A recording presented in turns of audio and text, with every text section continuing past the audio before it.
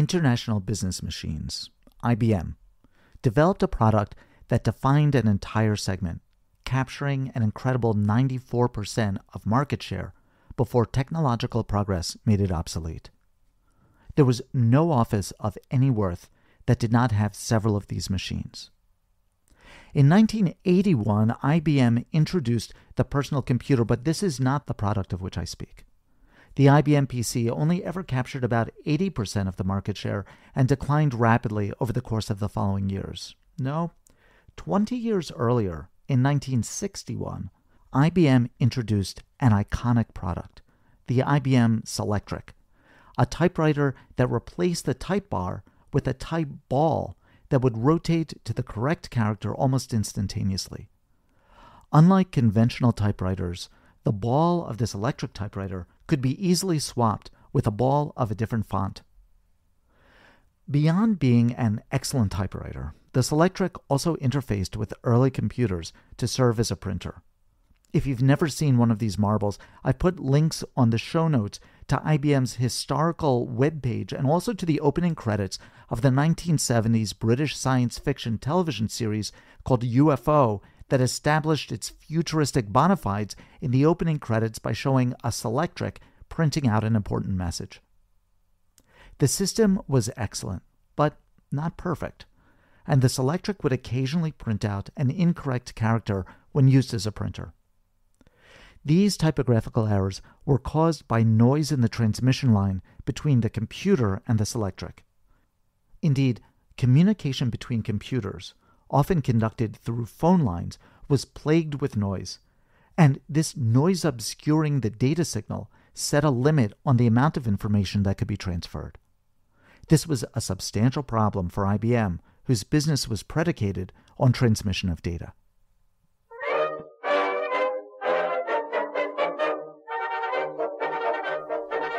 I'm Josh Young, and this is Playing Odd, a podcast about complexity and information in the natural world.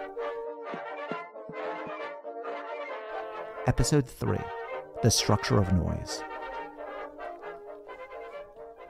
In the 1950s and early 1960s, IBM sought to address the noise problem by improving the components used in the system, by increasing the strength or amplitude of the data signal, and by introducing low pass signal filters.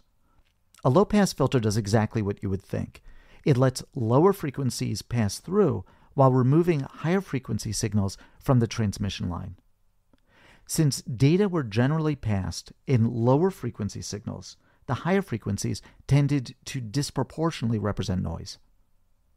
This approach yielded some initial benefits, but despite impressive engineering, IBM simply could not get the noise out of the system. A different approach was needed, and for this, IBM brought on a Polish polymath, Benoit Mandelbrot. Born in Warsaw, Mandelbrot fled to Paris in 1936 on the eve of the Second World War. As a Jew in Nazi occupied France, Mandelbrot lived in fear of denunciation by a rival and arrest by Nazis, as had happened to a close friend of his, Zina Morange. Paralleling Albert Einstein, another Jew who had fled from the Nazis, Mandelbrot joined the faculty at the Institute for Advanced Study in Princeton, New Jersey, where he was sponsored by John von Neumann. In 1958, having been recruited by IBM at the Watson Research Center in Yorktown Heights, New York, Mandelbrot was assigned to the problem of intractable noise in computer communication eschewing the approaches that IBM engineers had taken to suppress noise, Mandelbrot recognized the noise in the signal as something more intrinsic. His insight was to view the noise over different scales of time. To understand this great contribution, we need to see noise as something visual. Let's imagine a graph in which the y axis is the amplitude of the signal and the x axis is time. I deal with graphs like this all the time in recording this podcast, in which my voice modulates the height along the y axis and time proceeds in seconds along the x axis. But even when I do not speak, there's some bumpiness in the graph that forms. Some of this bumpiness arises from sounds outside of my recording studio. Some of the bumpiness arises from random electromagnetic fluctuations in the cable between my microphone and preamplifier and between the preamplifier and my computer. Mandelbrot's great insight was to compare the bumpiness of the signal, that is to say, the noise, over different scales of time. He found that whether the scale of the x axis was large or small units of time, the graph of the noise looked the same. He referred to this property as self similarity, in my example, across time. But let's imagine this a different way. Imagine that we capture 10 minutes of random noise. Regardless of the degree to which we zoom in on this plot, the pattern of the noise will look essentially the same, although, of course, not identical. In fact, if we were presented with a graph of the noise with an unlabeled x axis or time axis, we would not be able to surmise whether we were looking at 10 minutes of data, 10 seconds, or 10 milliseconds. This self similarity over scale is a fundamental characteristic of what became known as fractal geometry. A fractal is a shape that looks similar regardless of how much magnification is employed in its observation. Self similarity is a feature of many biological systems. Think of the branches of a tree. If one were to make a line drawing of the branches, it would be impossible to tell whether the drawing were of branches coming off of a trunk or of twigs coming off of a smaller branch. The pattern, although not identical, is roughly the same. The fractal nature of many biological structures is observed in the bronchioles of the lungs, the vascular branching of blood vessels in the body, and perhaps most iconically in the beautiful spirals of Romanesque broccoli, a picture of which I've included in the show notes. Changes in the range of scales over which a biological system is self similar may themselves be indicators of pathology, and this is the subject of some of my own work. Mandelbrot showed us that fractal geometry, geometry demonstrating self similarity over a range of scales, can be used to describe natural phenomena like noise, coastlines, mountain ranges, and many biological systems. But it is also possible to take the opposite approach that is, to write a simple set of rules that will create a pattern that looks intrinsically biological. The example that I will give is not so much of a biological pattern as of a recognizably natural one, but it is a pattern that lends itself to an experiment that you can perform with ordinary household items. For this experiment, you will initially need four matches or other similarly shaped objects. Let's line up three of those objects, three of the matches, into a line that is three matches long. Now, I'm going to introduce a rule. The rule is that the middle one third of the line, that's to say, the middle match that makes up the middle one third of the line, is going to be replaced by two matches. Now, we're not going to move the match on either side of that middle match. So, in order to keep all the matches connected, the two matches that are now in the middle must be tented up to form a point.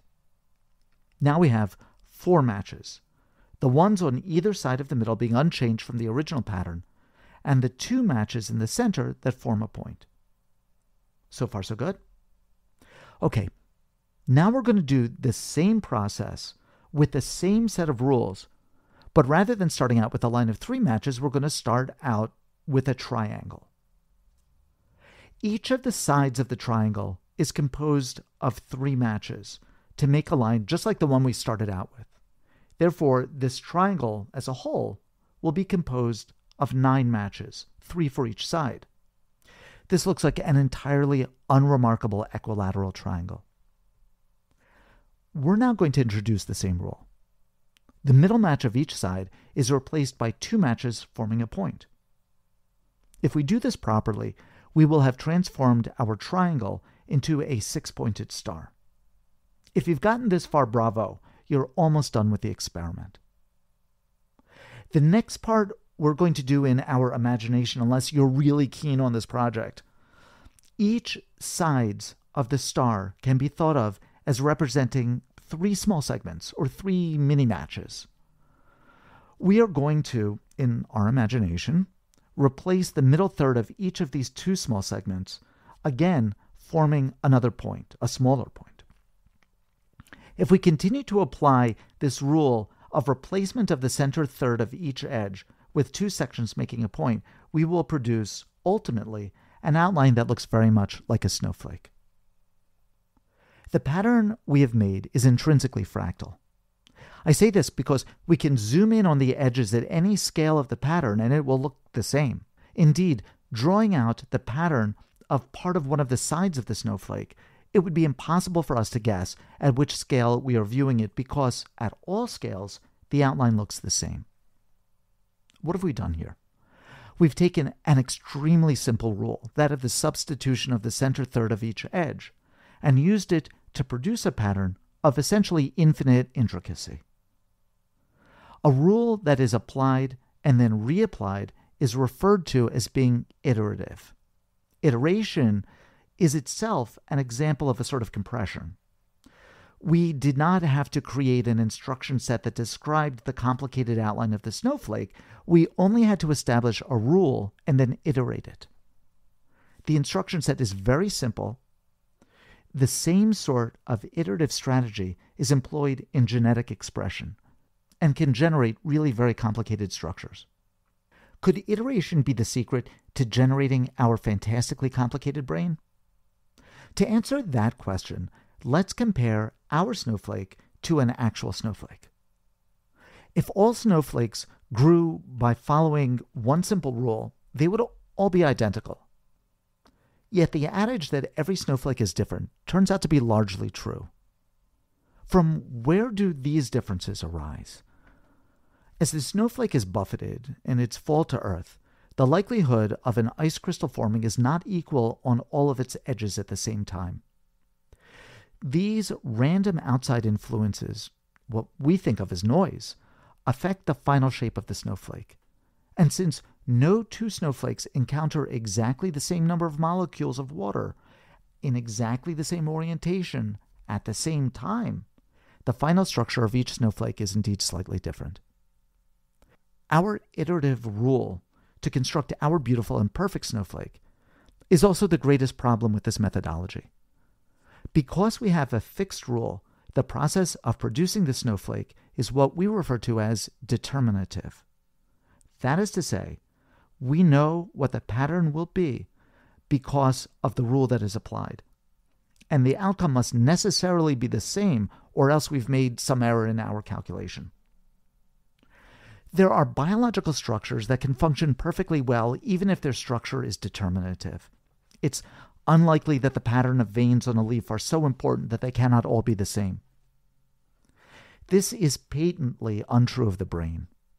The connections in the brain are neither random nor entirely determinative, because were they so, each of us would have an identical brain, and indeed, each portion of our brain would be identical to every other portion. Amongst other motifs, like the importance of exogenous information, noise will appear several times over these podcasts and will prove itself not always to be an impediment to construction, but sometimes a very element of construction itself. Iterative construction will play a role in our unfolding story, but as a bit part and not as the main character. Ours is a story about information and how much information can be contained in an infinitely branching pattern if the pattern itself is created by one simple rule. In order to answer this question, we need to define precisely what we mean by information. And this will be the subject of next week's program. In this episode, we learned about self similarity in natural systems. We learned that a simple rule, when repeated, can produce a pattern of infinite intricacy we observed that rule based construction of a pattern always yields the same result, and we named this ultimate predictability as determinative. Finally, we drew a distinction between structures that are intricate and structures that are information laden, although we have yet to define information. I want to thank you, kind listener, for taking this journey through complexity with me. A bibliography for this episode, along with links to additional material, can be found at playingodd.com. I hope this program will serve as an opening to a broader conversation. Please write to me with your questions or comments at josh at playingodd.com. I look forward to spending time with you next week. I'm Josh Young.